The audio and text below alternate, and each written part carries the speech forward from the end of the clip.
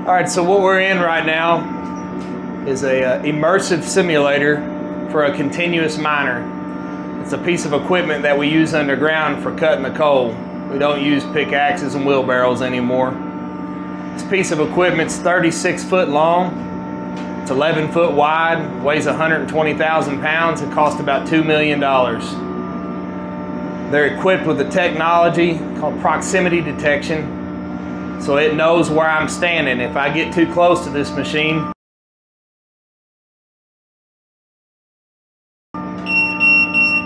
there's an audible alarm, but also it immobilizes the piece of equipment to prevent crushing injuries. The way it works is up towards the front of the machine. The thing that's moving up and down is called a shear. It has 73 tungsten carbide bits on it. It's got a series of water sprays for dust suppression, and it will rotate and grind the coal as I drive into it using this wireless remote. There's a chain that runs down the center of the machine, and it's going to rotate. So I'm going to start the fan to clear the air and start to cut this coal. Now underground it is too loud simply for me to lean over my shoulder tell my coworker I need him to pull his car up here, which is a piece of equipment used to transport coal. So I'll have to turn to him and draw a circle with a cap light. That's a signal that means to come here. Once he's underneath of the car, I'll start the conveyor and I'll start the coal loading process.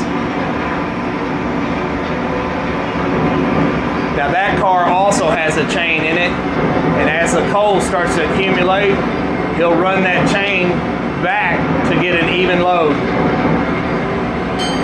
That bell was an indicator that he's full.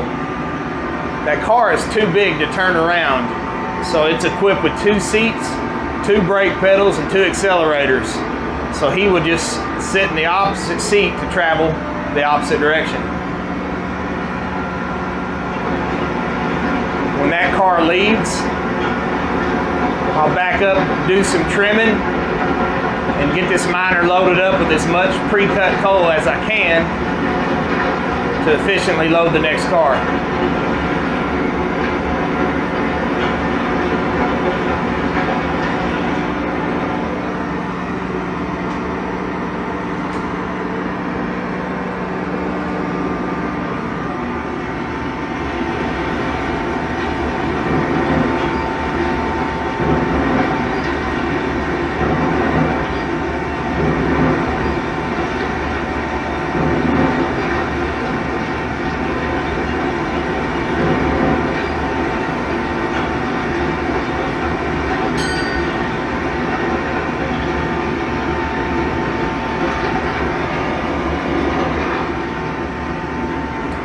That's about it.